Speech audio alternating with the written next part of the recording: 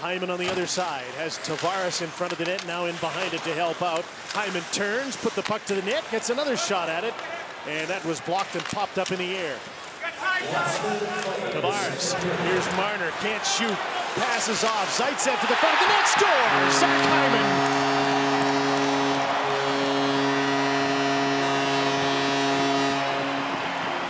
And in the last minute of the second period, it's a 4-2 Toronto lead. Now you can just sense it on the keeping the puck alive from side to side. And this one, I think, goes off of Montour in front, but it's Hyman who's got the position. Look at the box out by Montour. A no-look shot and right off the left skate of Montour. He looks skyward. Hyman does a nice job, though, of tying up the defenseman, forcing him to be in that spot. And then look at Hyman turns around and gives him the little point. It's Zaitsev took the shot. The stick was there, but it was the foot.